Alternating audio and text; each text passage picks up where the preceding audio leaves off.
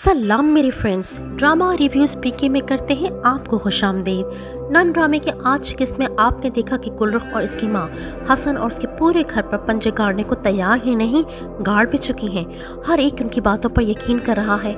हसन और साकिब की माँ जो गौहर जैसी चाल पास औरत की माँ है, गुलरुख और उसकी माँ की बातों में मुकम्मल तौर पर यकीन कर रही हैं। उन पर अंधा एतमाद करती हैं। गुलरुख की माँ उसके घर पर रहते हुए हर रास को भांप चुकी है। गुलरुख एक तरफ़ तो हसन का मुकम्मल तौर पर एतमाद हासिल कर चुकी है।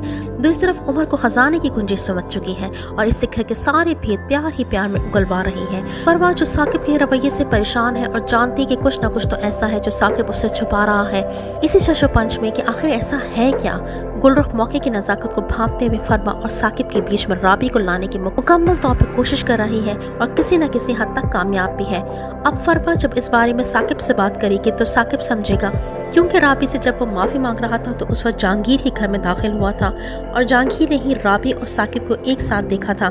तो हो ना हो ये जहांगीर ही है जिसने फरवा के दिल में ये बात डाली है। वो आधी रात को जहांगीर के घर आता है।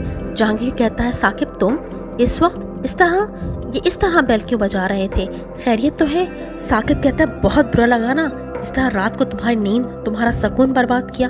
अब जहांगीर और साकिब के दरमियान एक नया सीन क्रिएट होने को है।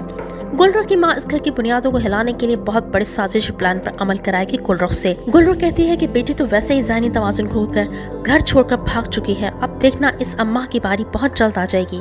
गुलरुख घर में ड्रामे शुरू करेगी ताकि इसकी माँ इस उम्र में ये यकीन कर सके कि इनके घर पर कुछ न कुछ कराया गया है जो इन्हें नज़र नहीं आ रहा।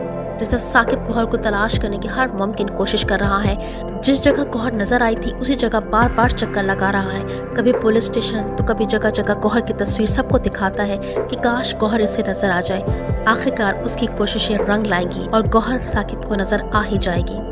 मुझे बताते खुद एक चीज़ जो बहुत पसंद आई, वो ये था कि साकिब परेशानी के आलम में अल्लाह से गिर गिरा कर मज़ार पर दुआ करता है और वो इस मुश्किल में अल्लाह से करीब होते हुए नज़र आया और अल्लाह ही ने इसे गौहर से मिला भी दिया।